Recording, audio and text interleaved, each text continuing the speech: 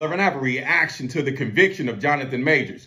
Now, if you didn't know, yesterday Jonathan Majors was convicted of a crime, but I got to let you know the original charges. Now, the original charges stem from number one, assault in the third degree with the intent to cause bodily harm. Number two, assault in the third degree to cause reckless causing physical injury. Number three, aggravated assault in the second degree. And number four, second degree in harassment.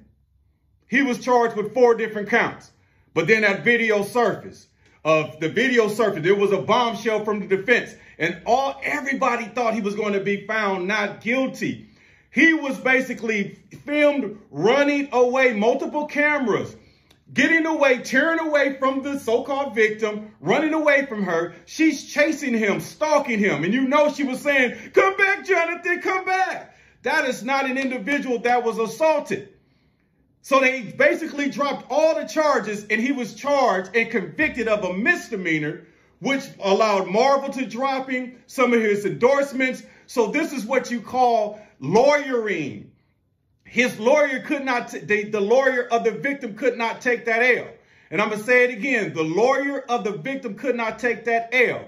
So they are going to destroy this man's career, even though we all know he's not guilty, and charge him with, what is it? Assault, uh, uh, assault and harassment, which are basically misdemeanors. So we spent all this money, all of this time for two measly misdemeanors, literally a snap on the wrist, which not going to get any jail time or conviction. That's lawyering because she fumbled the bag. She was supposed to marry Jonathan. She was supposed to funnel all the money. And then when the things happened down the road, she was supposed to sue him for $500 million, which was going to go to the white community or the Illuminati.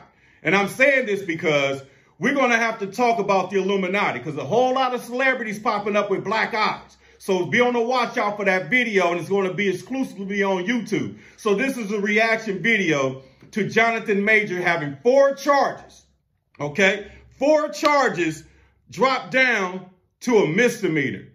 Come on now.